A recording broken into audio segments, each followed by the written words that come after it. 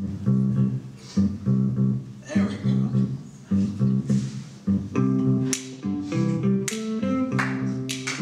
I've got sunshine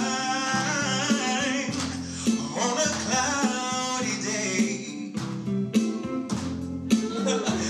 when it's cold outside, I've got the month of May. Right, we're with um, Dr. Samuel Ramsey at my hives. It's uh, a winter's day, and as you can see, he's working and we're looking for Varroa.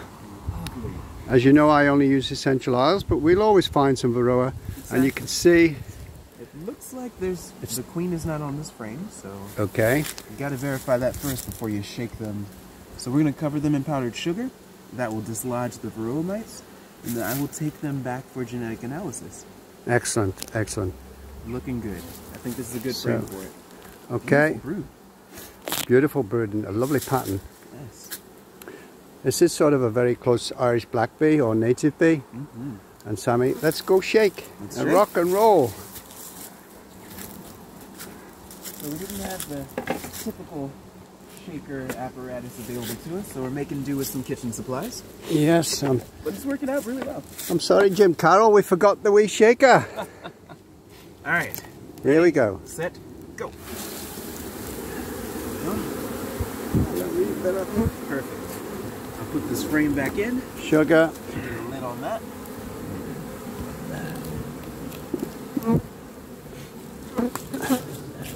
Okay, frame back in. It's 10 degrees outside, but the bees are happy Yes, they are. and uh, they're not nowhere interested in us at all. Doesn't seem like it. I just got a nice sugar bath. Dr. you got Ramsey is. even without the Go on, sir. shake, rock and roll, shake, rock and roll. So you're supposed to shake them for about a minute. Give them a little time, and then go for another minute, and you'll have uh, used the sugar to dislodge the mites. It's sort of the same principle as uh, as using uh, using those little suction cups to stick your phone to your the window in your your car. When the dust gets on the other side of it, it causes it not to make adequate purchase, and then it slides off the window. Think about the mite's foot pads like suction cups. So when the powdered sugar gets on there, they can't stick to the bees the way they normally would. They fall right off. So the shaking helps to make sure that all the sugar gets to where it's supposed to be. And of course, when you put these back in the hive, they get licked off and uh, Exactly. yeah. They're probably pretty happy with it. I think I'll try covering myself in, my, in sugar and see what my wife does. Oh, okay. goodness. One, two, three, four, five, six, seven. All right. Good? Give them just uh, a little second, and I'll start shaking again. All right.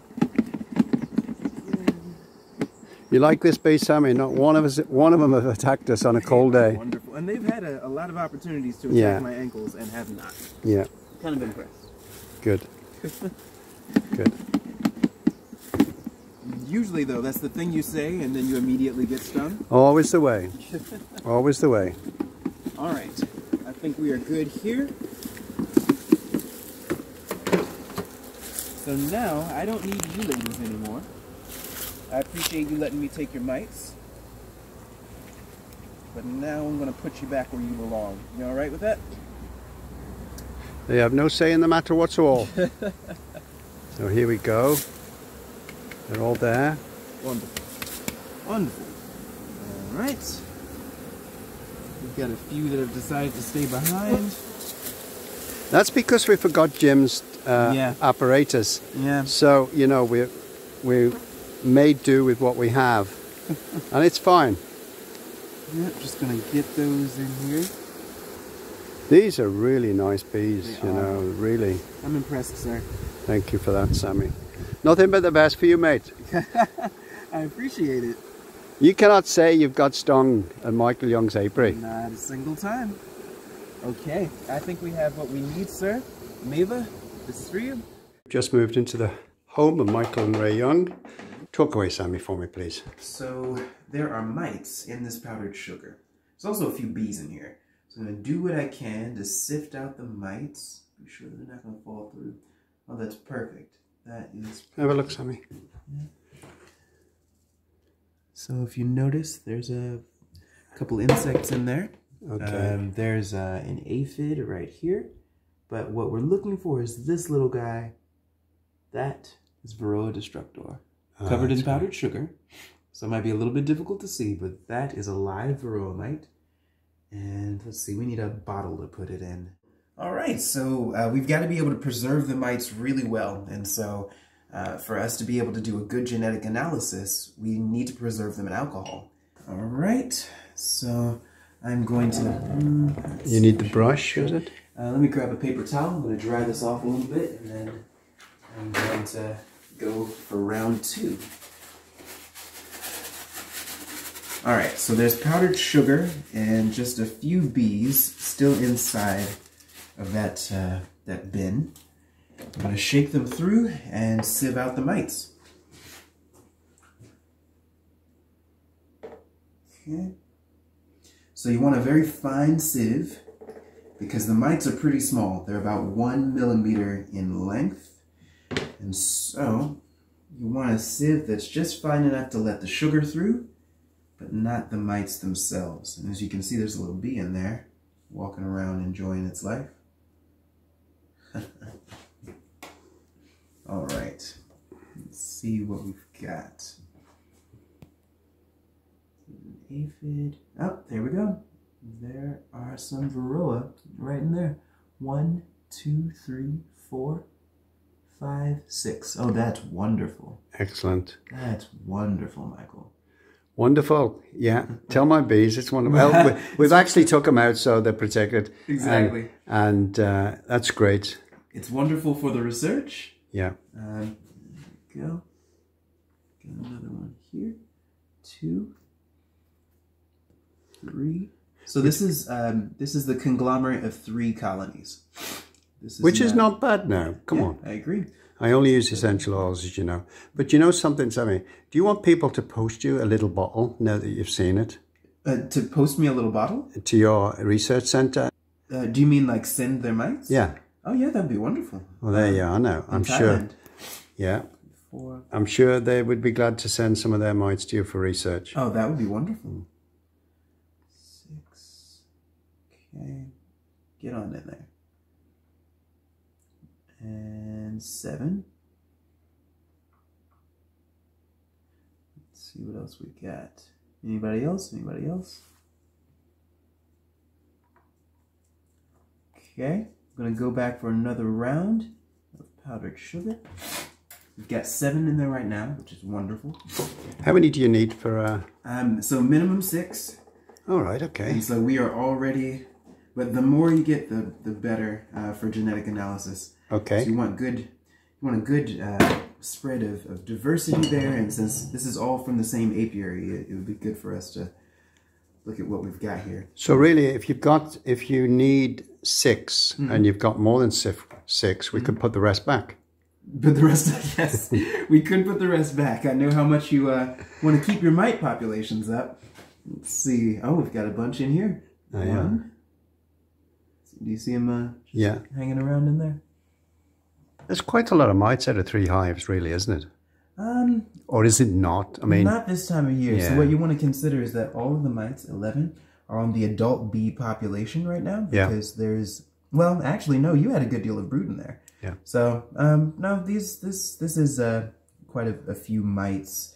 But remember, this is not your standardized 300 bees sort of thing. Yeah, We yeah. just dumped a huge number of Yeah. bees into a bin. So honestly, uh, in order to really evaluate that, you've got to assess the the size of the population of each colony. yeah. Uh, I think it would be better for you to do a typical mite check of 300 bees, uh, so half a cup of bees, and uh, dump powdered sugar on them and see how many mites you have per 100 bees. Okay. It's really exciting. Oh, yeah, I agree. I think I've lost count now, but I know we've got over 15, so that's great. So quantity of powdered sugar really is less than uh, 400 grams Yeah. we've used today. Yeah, so not really that much. No, it's not. Have you enjoyed being over here? Oh, I've loved being here. You better know with certainty that I will be back to the Emerald Isle, That's sir. great. So you were at County Louth, which was brilliant. Uh, That Louth was lovely. And then uh, beekeepers, Offaly. Offaly beekeepers, yeah. INI beekeepers. So you really had a good time, and Oh, yeah. You're happy with the hospitality and everybody treated you. I loved the hospitality. Um, I also realized that I cannot deal with the portion sizes here. you guys uh, have much larger stomachs than I am used to. Mm-hmm. If my friends back in the U.S. could see the size of the fish and chips you served me that time, That was a small portion, hmm, was it really? The fish was far wider than this bin right here.